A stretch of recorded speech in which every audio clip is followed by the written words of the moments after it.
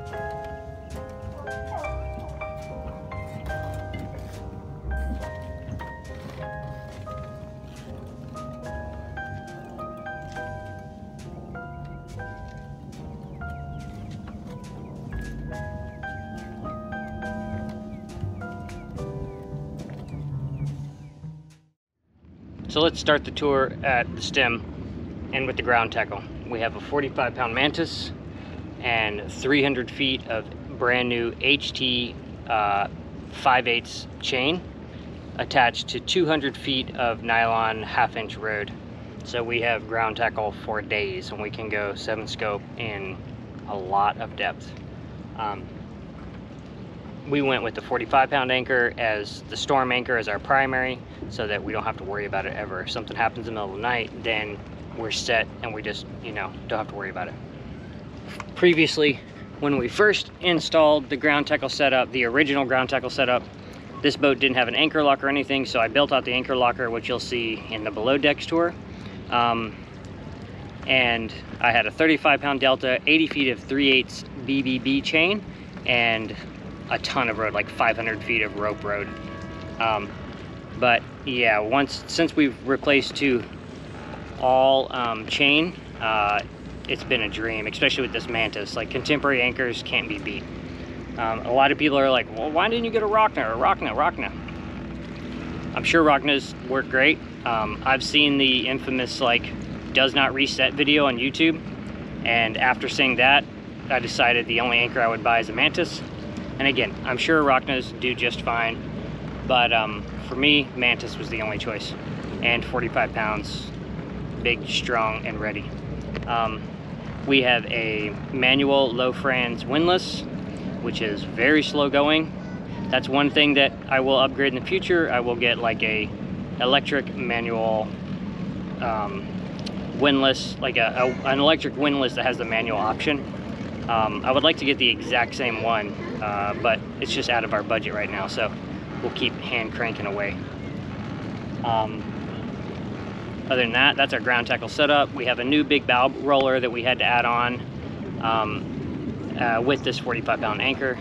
So um, yeah, that the, the old one got really torqued and tweaked at the Channel Islands, so this new one is super bulldog and ready for anything.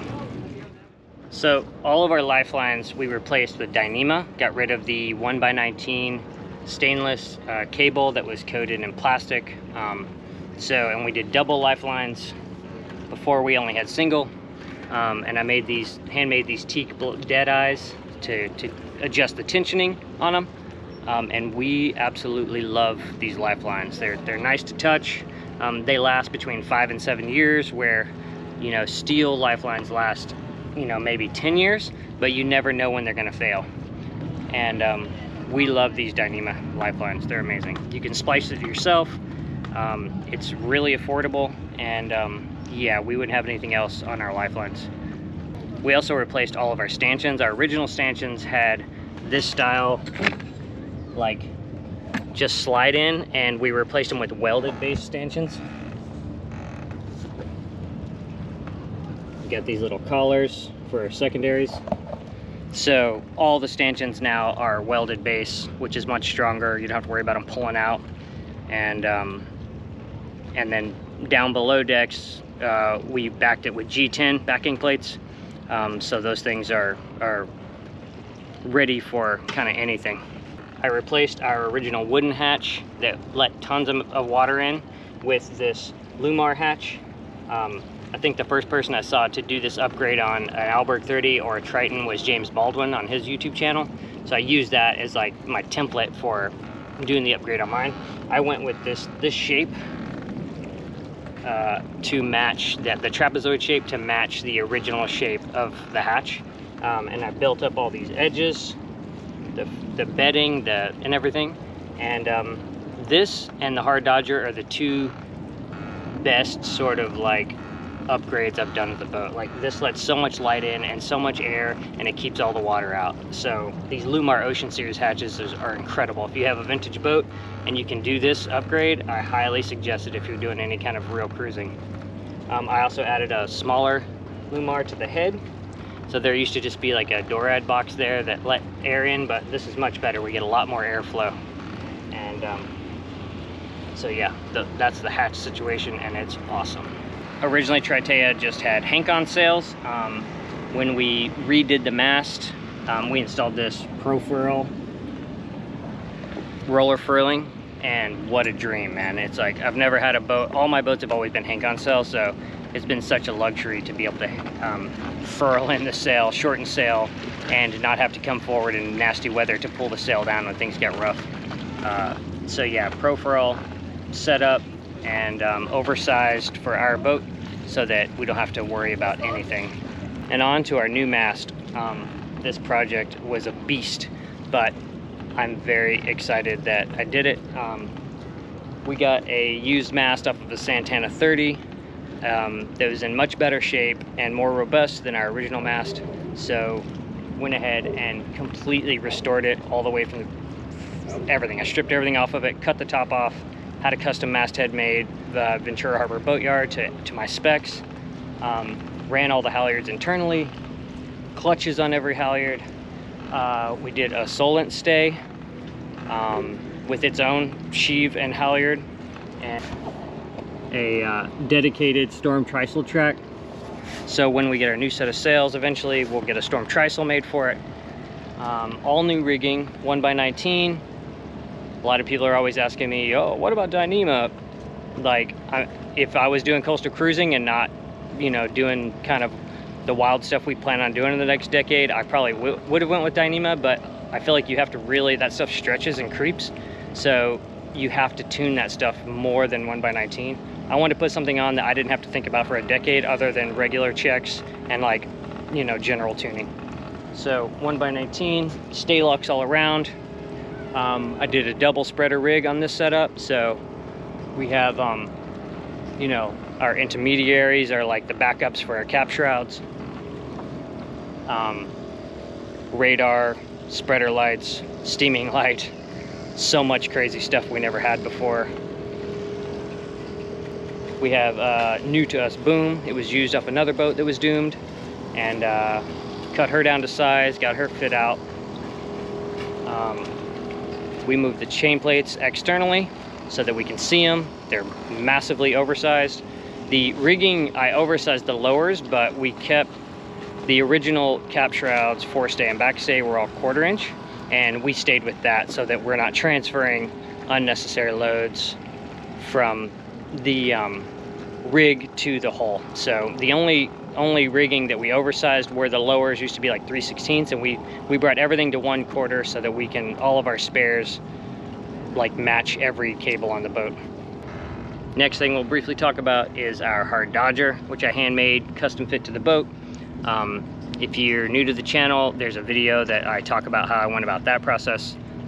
Uh, very very very important upgrade for the boat and it is it's changed everything from the look of the boat to the comfort underway and you name it. Even under anchor we can leave the hatch open and everything and get fresh air while not worrying about weather getting in as easily.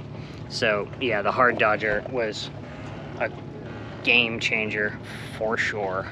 Um, and I don't know how we ever lived without it. With the hard Dodger, we installed these opening hatches so that you can see out at night, you can get fresh air in and um, easily close them so that, you know, if, if you got waves coming over breaking, then everything's protected in there. Wooden handrails to accent our original wooden handrails. Bulletproof Lexan, curved.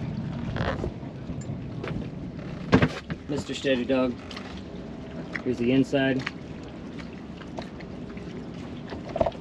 And then this is like, you know, a little work in progress. We're gonna be kind of fitting this out to like stow stuff better. We're gonna put some grab rails. We're also gonna put like a sort of elect, you know, like a wooden shelf there with like a USB charging station and a RAM mount for the iPad and everything. So we're underway. We can have our navigation right there as well. Um, but man, what a difference this Dodger makes.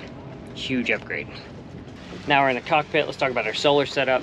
We installed two 100 watt um, adjustable rigid uh, Renogy panels. Um, and we have a 50 watt flexible on the Turtle. Um, and uh, so we have 250 watts of solar and we have our battery bank is two um, 100 amp hour battery. So we have 200 amp hours total on our house bank and then a separate starter battery that's 100 amp hours.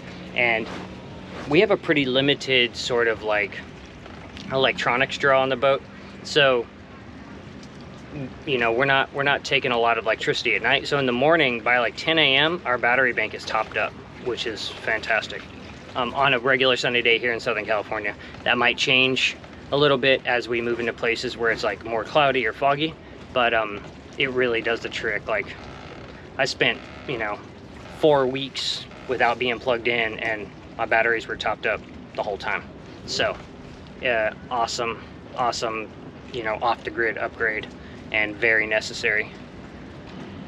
I made the panels adjustable so you can just loosen this lever and lower them up and down. So if you're in heavy seas or something, you need to drop them down, or if you want to just point them to the sun, then um, they're fully adjustable in that manner. Also here in the cockpit, we installed Lewmar 46 self-tailing winches. These things are incredible. Like we had the original, our original winches were the bronze old school style these self-tailing Lewmars are such a dream and make life so much easier. In heavy weather or anything, it's like, or even under anchor if we're tending the stern rod, it's it's so awesome to be like hands-free, just like, you know, two-speed, dial it in. While we're talking about the winch department, we installed these secondary winches, Lewmar 40s. These would be good flying spinnaker, having a backup, you know, whatever you need. We've never had secondaries, so we're excited to have um, that as an option in our setup. Uh, replace the tiller. It's a more beautiful long tiller. The other one was just straight and kind of kind of stubby. We saved it for a spare. We got this teak grate for the cockpit off of a junk boat and it's so much nicer than just the dirty cockpit floor so we enjoy that a lot. As we come aft we have our stern anchor set up here ready for easy deploying. Um, we get our get our stern rod and everything in a bag, we pull it up on deck, tie it off, and then deploy that once we get under anchor and we need it. Um, we have our Iridium Go satellite external antenna. This is a GPS um, AIS dedicated antenna for AIS. Uh, we have AIS like receiving, we don't transpond. Um, but that's nice because, you know, we're the ones that should be watching out for the big ships, not the other way around necessarily. This is the style winches we had uh, on the boat before, and this is our main sheet winch. Um, eventually, I'd like to replace that with a self-tailing winch as well. When I bought the boat, there was no instrumentation, no gear, nothing. The boat was completely kind of gutted. Um, so I've installed Raymarine Tridata uh, ST60 Plus, and then the Wind. Um, when we installed the new mast, and oh my gosh, it's it's so nice to know what the wind speed is instead of just like roughly guessing. And I found that I definitely guessed shy of what the actual wind speed has been in the past. With that Raymarine Tridata, I have a repeater down in the nav station you'll see in the next video that um, at so that I can see all of the instrumentation while down below as well, which is really handy. I also installed this beautiful Ritchie Navigator compass, uh, fantastic compass. We also added a vintage Sailomat wind vane. It's from 1972. It's the original model. Um, it has given us a little bit of trouble. I've repaired it and reinstalled it, and now it's just kind of wait and see how the repair holds. Okay, now let's talk about everything below the waterline. Um, this boat is from 1965. Um, so all of her seacocks were frozen shut when I got it and very corroded and kind of scary. Um, I sailed with them in that condition for years and just kept an eye on them and never had any problems. But um, it was always a safety concern for sure. When we hauled out at Ventura Harbor Boatyard, we replaced every bronze fitting on the entire boat and we replaced it with the Groco tri-flange. Um, you know, the best of the best. And um, it gives a lot of peace of mind knowing that every single seacock is replaced and every through hole is replaced and all done by my hand. Um, we were able to eliminate one of the holes, which is always good, where the old speed transducer, we got rid of that because we got a combination depth speed transducer, which our speed transducer has never worked anyway ever since we installed it. But at least we got rid of that hole and um, you know, plugged it up with G10 and, and glassed over it and everything. Uh, we also sanded the bottom and did all bottom paint, did topside paint at the same time. And um, at the same time, we found out that we had to have a new stern tube made. So we had a custom bronze stern tube made. Uh, we went ahead and upsized our prop shaft to one inch, which has been kind of the standard size since the 80s and um, ours was 7 eighths before, so it was harder to get parts for. And um, the boatyard's like, well, if you're doing this now, you might as well just bring it up to the standard, which we did. Um, so we replaced the prop shaft, we got the stern tube made, replaced the cutlass bearing. We had to get a new prop shaft, uh, we had to get a new propeller because ours had galvanic corrosion and it was like brittle and rotten. You could carve it like cheese. Yeah, but the haul out was extensive. We are hauled out a long time, but we have so much peace of mind knowing that the boat is safe and stable now with all of her new fittings. Okay, let's talk about the mast project from the top down. I designed a masthead that I wanted. Uh, I made a wooden pattern out of it, out of MDF, and I took that to uh, Ventura Harbor Boatyard, and they fabricated it for me in aluminum. It did cost quite a bit of money, but I got exactly the masthead that I wanted for my application. It allowed me to run all of our halyards internally and then I made a plate for the top for all of the equipment that attaches to it. We installed a brand new VHF antenna. We installed the Raymarine uh, wind meter. We installed an amazing light that's tricolor anchor light strobe combo. And it has a photo sensor, so the anchor light, you can just leave the anchor light on and when a daylight happens, it turns the light off so you're not wasting any power. And then if you're away from the boat, when the sun goes down, your anchor light comes on automatically, which is incredible. We have a strobe as I mentioned, for emergency purposes. Um, so that'd be nice if we're somewhere far off and a boat looks like it's going to run us down, we can turn that on to, di to divert them or let them know that we're there. Um, and then a tricolor, which gives us a much greater visibility where our original bronze fittings on the side of the boat, we think they're beautiful. We don't want to change them. So but they don't give the best sort of visibility, especially if there's a sail down or something. Um, it's really hard to see those. So the tricolor gives us extra safety to where people can see us even in high seas. We installed a Windex up top, which is nice. We've never had one. Um, it's so funny, these little things that most boats have, it's like we're getting these luxuries that are just wild to us. As I mentioned, the mast was a complete build out, custom build out by myself. Um, we installed all the tangs, we installed all the hardware. We installed this, you know, we sourced and found spreaders at the junkyard and on eBay. Had spreader brackets made at uh, the Ventura Harbor Boatyard.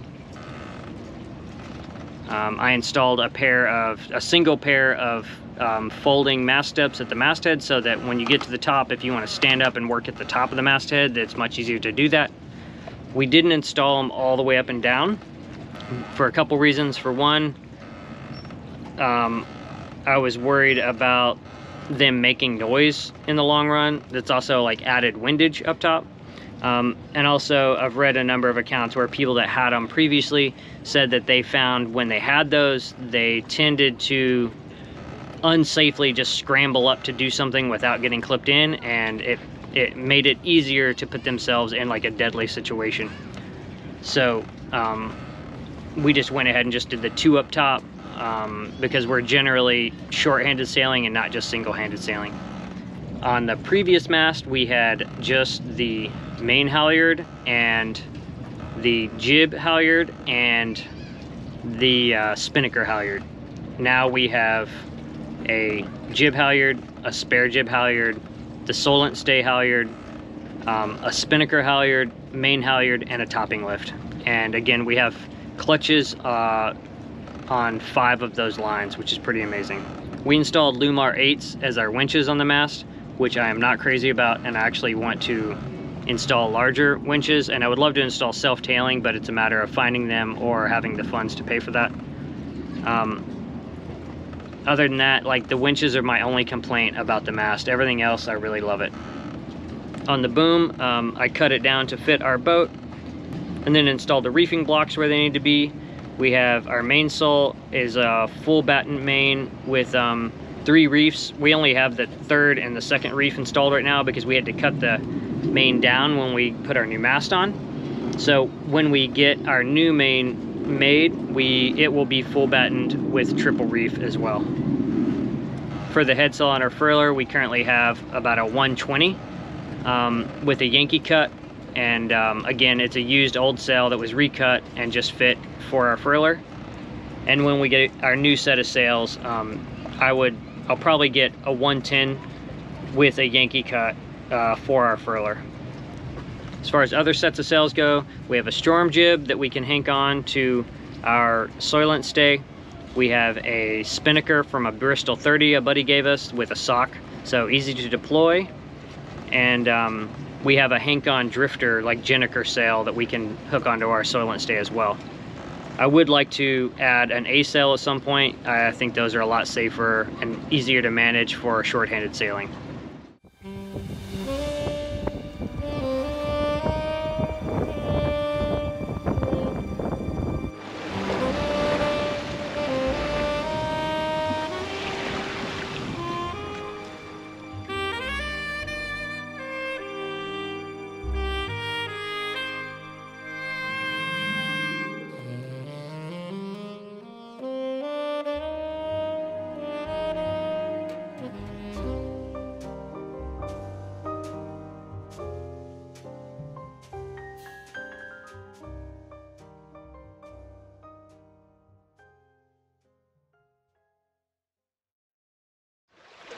I hope you enjoyed this episode of the Triteia deck tour.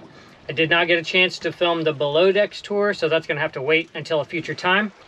If you enjoyed the episode, please give it a thumbs up and tell us what you thought down in the comments.